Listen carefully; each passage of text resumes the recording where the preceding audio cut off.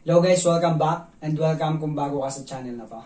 So yung topic natin ngayon is addition and subtraction of functions. So for example, given function of x equals 5x minus 3, g of x equals x plus 4, find for letter A, f plus g of x, and for letter B, f minus g of x. So for letter A muna tayo. So f plus g of x. Okay? So, addition of functions. So, ito, equivalent lang siya sa, ah, dito na lang.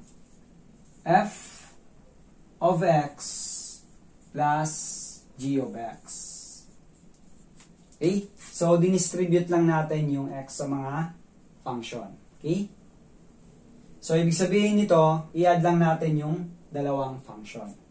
So, f of x natin is 5x minus 3. Okay? And then plus yung ating g of x. That is x plus 4. Okay? And then, combine like terms lang natin. So 5x plus x, that is 6x. Negative 4, negative 3 plus 4, that is positive 1. Okay? So therefore, yung f plus g of x is equal to uh, 6x plus 1. Okay. And then for letter B naman tayo. So, find f minus g of x naman. So, ito naman, subtraction of functions naman siya. So, same lang din sa ginawa natin doon. I-distribute lang natin yung x. So, equivalent lang siya sa f of x minus g of x.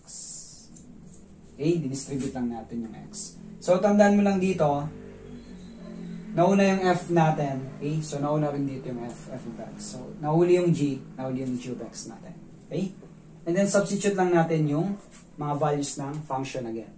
So, function of x, that's 5x.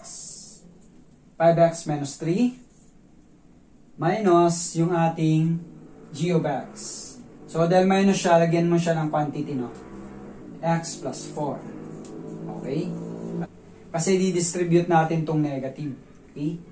So, magiging 5x minus 3. Then, distribute natin yung negative. Negative x minus 4. Okay?